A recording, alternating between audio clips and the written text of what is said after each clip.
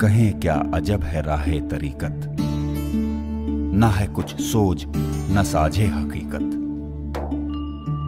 निहा जुल्मत के पर्दे में हकीकत, आया जुल्मत के पर्दे में हकीकत।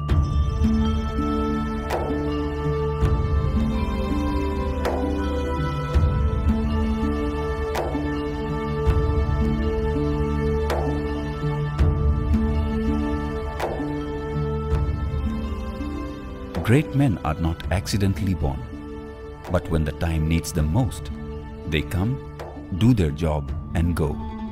Such is the phenomenon of nature.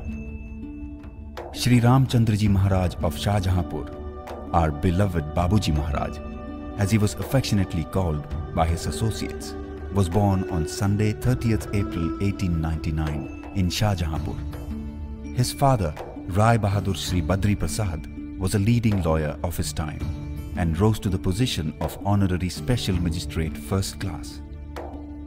His mother, Jasoda Devi, was a simple and pious lady who had a deep religious bent of mind. Babuji used to refer to his mother as Bhabhi. From an early age, Babuji displayed a craving for spiritual realization which overshadowed all other interests. He was married at the age of 19.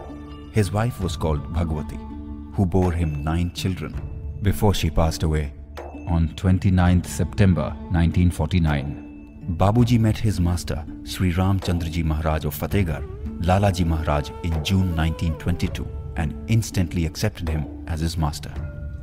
In his diary, Babuji has noted that since the time he saw his master, Lalaji took the position of God in his heart and this condition always remained. 14 years after Lalaji's Mahasamadhi in 1931, Babuji began traveling throughout India using the gift of transmission or pranahuti, a yogic technique rediscovered by Lalaji and passed on to Babuji as the basis for the Sahaj Marg system of Raj Yoga.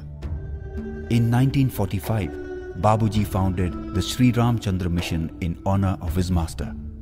Convinced that God is simple and can be attained by simple means, he was confident that seekers of every culture and nationality would embrace the simple and effective spiritual practice that he offered.